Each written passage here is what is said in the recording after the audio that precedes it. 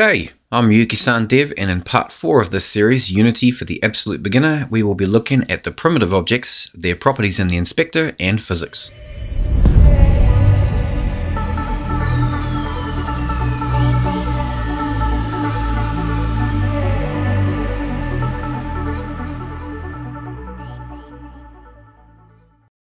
Alright, so now we're all installed and we know our way around the interface a little, let's start doing some stuff.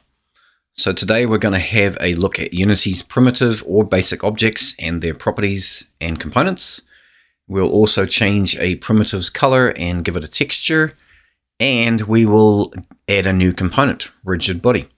Um, then we can work with physics to get it to fall when it's in the air and control what it does when it hits the ground. Uh, and then we'll finish off building a small structure of some kind. So let's get started. So Unity has a few basic 3D primitives or basic shapes on offer to get you going. We've got cubes, spheres, capsules, cylinders, planes, and quads. Uh, I'm not going to worry too much about quads at this point. So let's create a cube. Right click in your hierarchy and select 3D object and cube. Um, now, if you can't see the cube in the scene after creating it, then remember you can always focus on an object in the hierarchy by clicking on it and pressing Shift F. Now, in the inspector, we can see that cube's properties. Um, all primitives come with these basic properties. More can be added, uh, which we will actually do shortly. Um, so firstly to note that almost all of these properties and more can be manipulated using C-sharp script, which we will start doing later in the series. But for now, we're just going to make changes in the inspector window. So first, let's look at the transform window. Um, so before we start, let's uh, reset the cube's transform properties. So click these three little dots here and select reset. Uh, so now the position and rotation should now all be zeros and the scale should be one. Um, so the position is of course the object's position in the scene, uh, X, Y, and Z. If you use your move tool in the scene toolbar and grab, let's say the red line here, uh, then you will see the X value change in the inspector and green for Y, and blue for Z.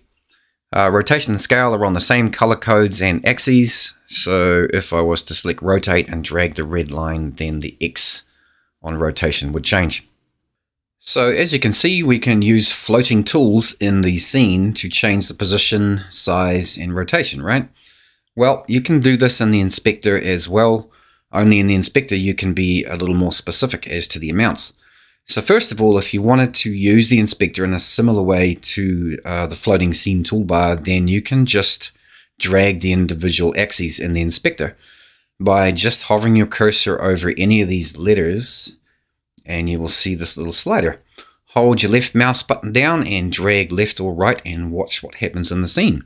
So I'm dragging uh, X on position and you can see the cube moving on the X axis. Uh, and you can also do the same with rotate and scale. Uh, with the scale, let's say you wanted to make a shape bigger but not lose its proportions, then you can click the constraint to lock all the axes to do the same so it won't change its form. Um, you can also type in the values that you want. So just let me reset this cube back to its original state.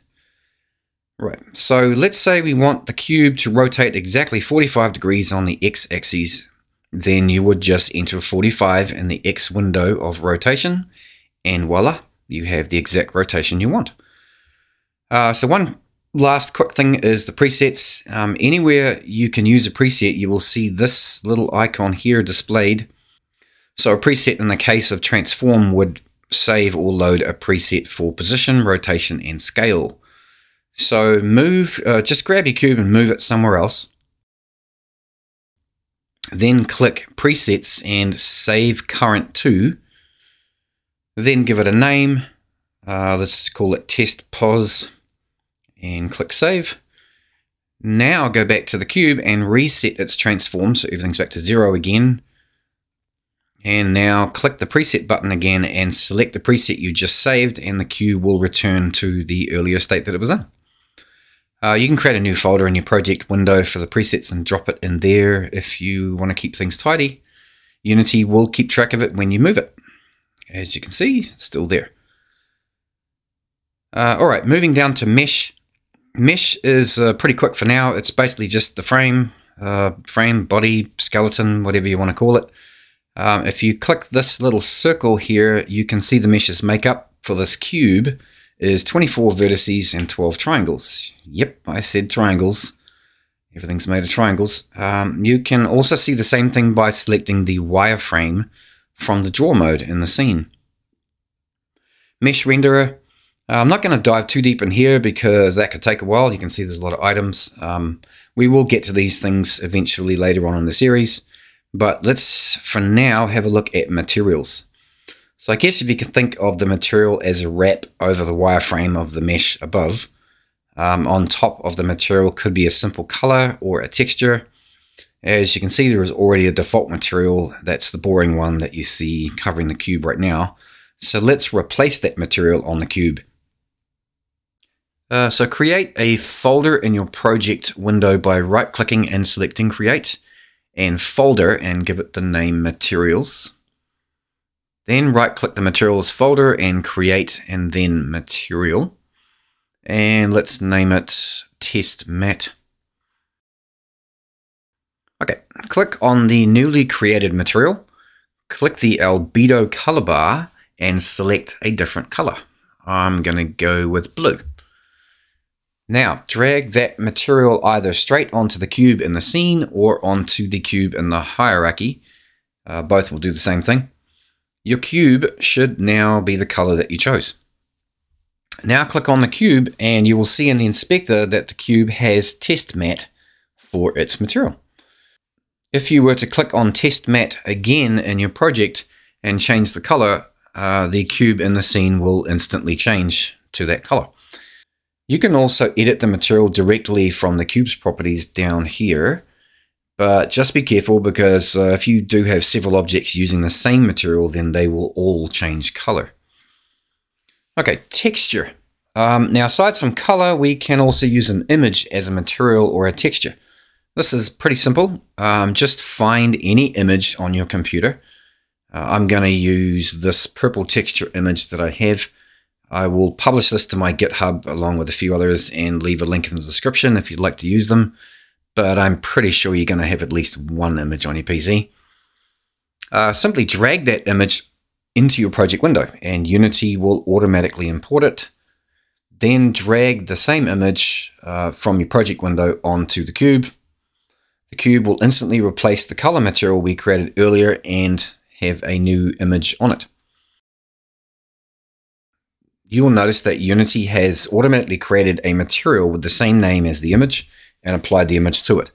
If the material was not automatically created in the materials folder, then you can simply drag it in there and it will be tracked.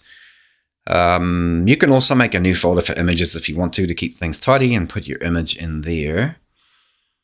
Um, one other thing to note is the image is being applied to each face individually. Um, this is because there's no cube map for the cube or UV. Um, I have another video on making cubes with maps in Blender and importing them into Unity, which would help you with that if you're interested.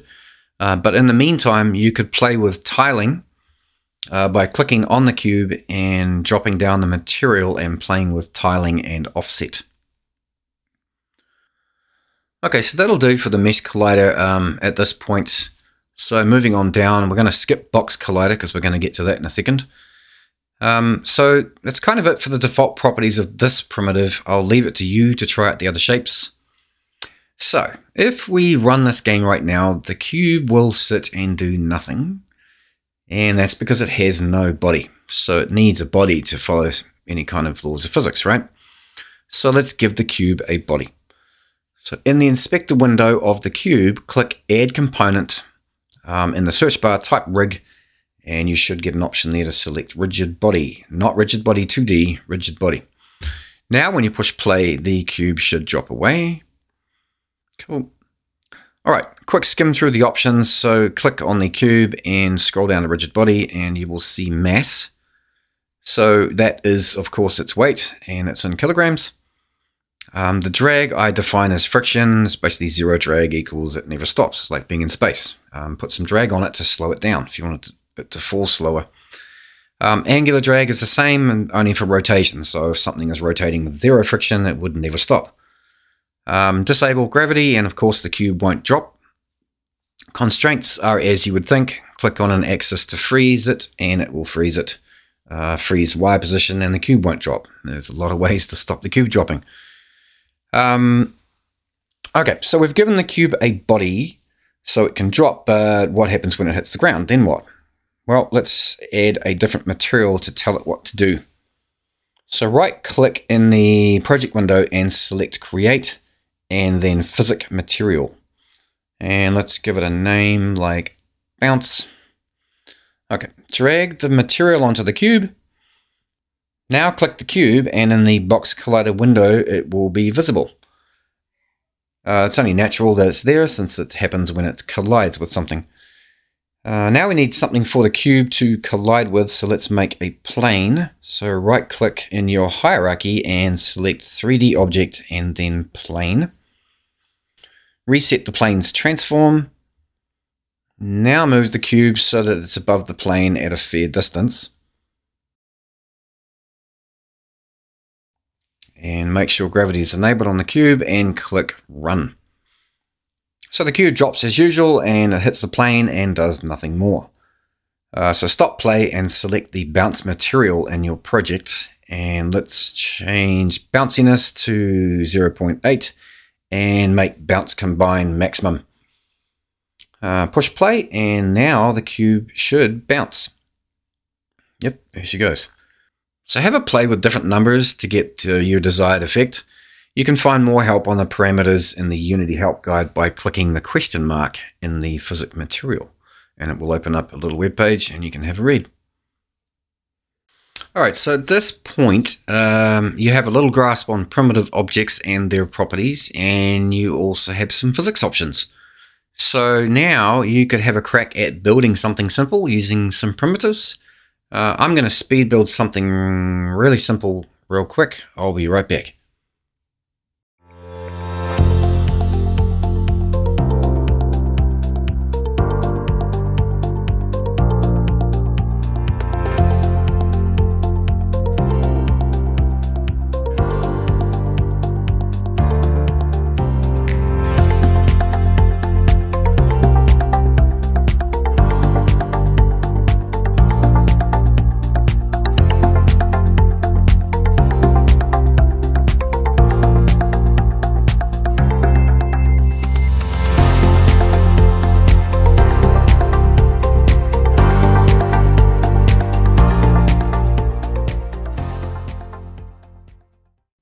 Alright, so this is my very simple and somewhat boring structure, and I have a ball dropping onto it. Nothing fancy. So notice uh, I have the top part of the structure slightly tilted. Uh, this is because if I didn't, then the ball would just continuously bounce straight up and down perfectly until it ground to a halt. Uh, you'll also notice that the exact same thing happens every single time you play it, and that's for the same reason, which is that it's basically it's all math and the calculations are always going to be the same. So later on in the series, we can start using scripting to make things a little more random and realistic. A couple of things uh, here that I probably should have mentioned earlier. Firstly, uh, the camera in your hierarchy is your game camera. If you select it and select your move tool, uh, you can move it just like any other object, and same goes with rotation. Um, so move it around and watch the view change in your game window and uh, find your preferred placement. And secondly, if you are building something uh, a little more complex and you would like to group certain objects, then you can just drag objects onto one another. So let's say I wanted to group my L1 through to L4 to the base. Um, then I would just drag all four objects onto the plane in the hierarchy. Uh, now they are all children of the plane, so if I move the plane, then all of its children will move with it. Um, you could also create an empty object by right-clicking in the hierarchy and selecting Create Empty. Give it a name. Uh, reset the empties transform and then drag anything you want into that object. Um, we'll also get into parent-children relationships uh, in this later on in the series when we're scripting. So yeah, have a play around, and um, of course, if you have any problems or questions, don't hesitate to ask. So In the next video, um, I think we'll take a look at prefabs. Any game object can be a prefab. Prefabs are pretty much a must in Unity and uh, will save you a heck a lot of time and resources to use them. They're basically stored in your project and they can be instantiated into any scene at runtime. You can have multiple instances of uh, the same prefab in the scene. And uh, by changing the one prefab, you will change all instances of it. So it can be pretty useful. Uh, you can even have a prefab variant which will inherit its original, but it can also be altered. Anyway, we'll get more into that next time. So I hope to see you in the next video.